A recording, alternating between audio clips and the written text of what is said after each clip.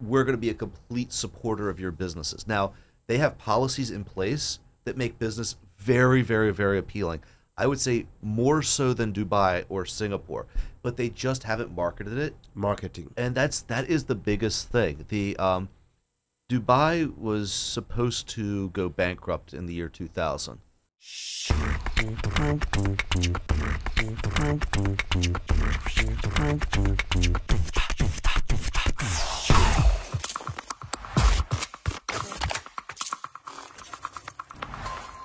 There's a lot of Africans who have concerns, like in Kenya, for example. Uh, the Kenya shilling was exchanging to the dollar for Right. 100 shillings slightly over three years ago. Right now, it's over 150 shillings. You know, like that's more than uh, that's more than 50 percent. You know, like loss in value. Uh, so people are concerned. You know, like if I go, if I open up a business in Kenya, you know, I use my dollars here, I open up a business in Kenya, I'm earning in Kenyan shillings. Uh, am I going to be in a situation where I'm losing money? Because I'm sure, you know, also Ghana has also experienced, you know, like some issues with inflation. Yeah, with the cedi. Yeah. Yeah, so not- how do you deal with that? No, absolutely. It depends on the structure of the business. Okay, so if if you're earning in a country and spending in a country, there's really no risk because the inflation can be margined for just by holding on to fixed assets. So, for instance, if you have real estate, if the value of the local currency was to go down, your value is going to go up. A country that that dealt with this um, very much recently was Turkey, of all things, where they dealt with actually tr- uh, the most extreme inflation for a period of time. Uh, as far as if you're investing now, where the nuance would come in is if you are trying to earn in Kenya or you're trying to earn in Ghana and then take that money out, Out. through a service and then spend it in the Western world. That's the tricky part where if you write contracts the wrong way, this is with any, it works any way around. It, this would work. This is a concern if you're doing business in America and London. If you're doing business in London and China, these are always concerns. Uh, there are derivative markets. There's ways that are basically we have connections with uh, financial organizations that basically can guarantee an exchange rate for you. It's it's not free. They charge commission for that, but a series of derivatives they can secure your business. But that is bespoke to every single business. However, if you are buying physical assets, generally you're quite safe because it's physical assets are held to a global market. So if you have gold, if you have if you have timber, if you're in minerals, it just depends on how your contract is written. It's one of those things where it's like if we really dig into this, it's like let's make this a five-hour show because it, because it's a super technical question. Yeah. But yes, it absolutely can be taken care of. No problem whatsoever. Uh, our company is margined against any sudden um, depreciation in currency. It doesn't mean that we are expecting that to happen, but we do always maintain a certain degree of insurance against that. Oh wow! So so there's a Huh. there's a business strategy to, to Oh, actually absolutely. deal Oh, with absolutely. that. It's, it's not it's not terribly complicated. It just needs to be just like a just like a shirt. It just needs to be tailor made to the individual. As long as we tailor make that solution, it's, it's not terribly difficult. Okay. All right. And and then you know like you've also talked about uh you've extensively talked about you know like um artificial intelligence. Mm-hmm. Uh and you feel that AI will No. benefit Africa more than the US. Absolutely. More than Europe and more than China. Absolutely. How is that? it levels the playing field. See, see, when, when artificial intelligence is handling the value added chain, and when it's handling the the management of a business in a great capacity, uh, your generational knowledge of business doesn't matter anymore. It just matters what proximity you have to natural resources and what access you have to the necessary labor pool to work alongside that artificial intelligence uh, Europe is not completely without mineral resources, but it's at a vastly inferior position uh, to Africa right now. And in terms of demographic growth, uh, the uh, people of Europe have decided that reproduction is not part of their life plans. In the same way, uh, they just don't have families, so they're not going to have population. They're not growth. having babies. They're just not. They're Yeah. they're choosing consumerism. They're choosing. Um, Enjoying life.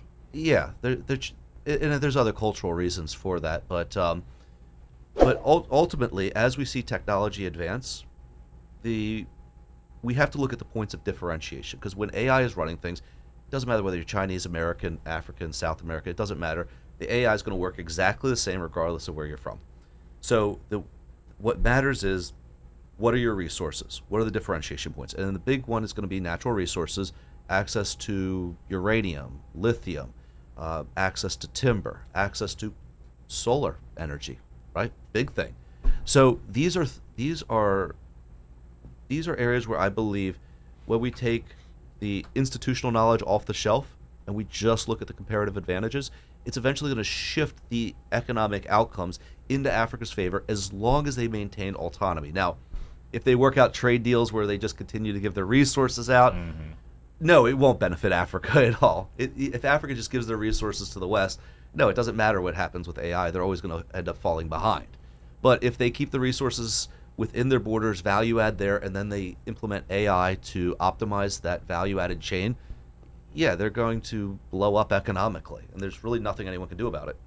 Wow, you know hmm. what Washeke here says it's interesting to see an outsider like Brad see the opportunities that we don't see.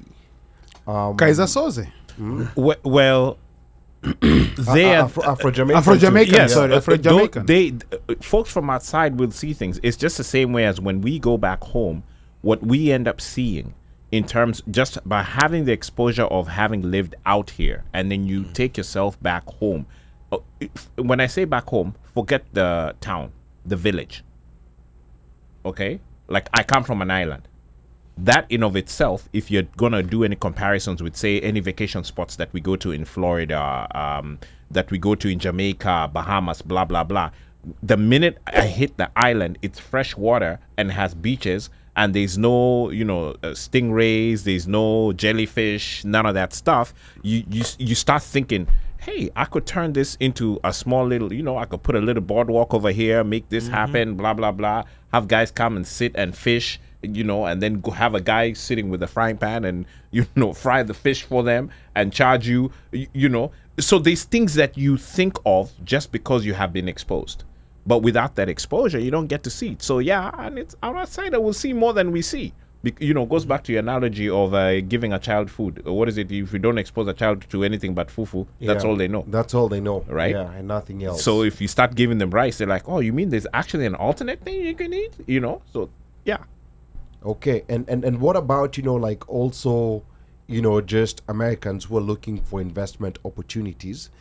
Maybe right now is when minds are opening up a bit to mm-hmm. Africa. Mm-hmm. Why why is it that uh, you always hear people talk of Dubai, people talk of uh, you know like Singapore, you know like some of these exotic places that everyone else is talking about.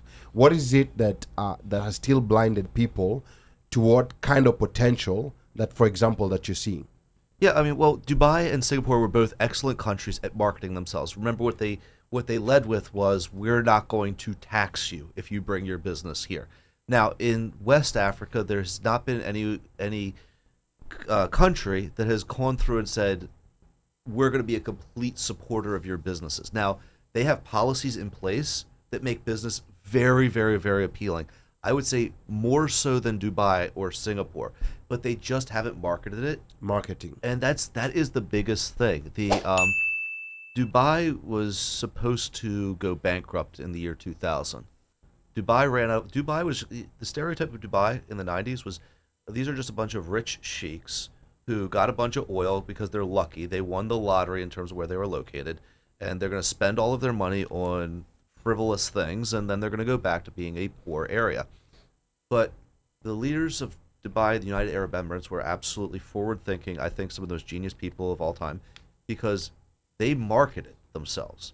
They made sure that they subsidized the biggest skyscrapers. They made sure everyone knew that this was going to be the place to, to do be. business. Yeah. And they remember Dubai and Singapore both had one, two, uh, another thing in common was they had an iron fist on anybody who would cause crime or disharmony in those areas. Yes. You can if you you're not allowed to chew gum in Singapore.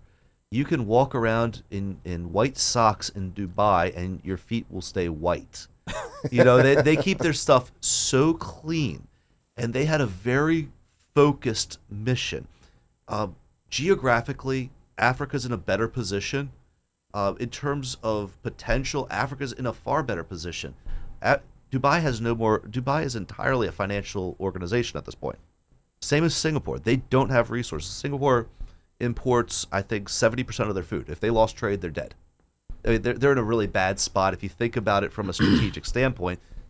As long as things stay stable, they'll be okay. But Africa can really go to the next level. I don't know who, which country, and which city is going to say, hey, we're going to make a focused mission to be the next Dubai. I think Rwanda is trying to do that.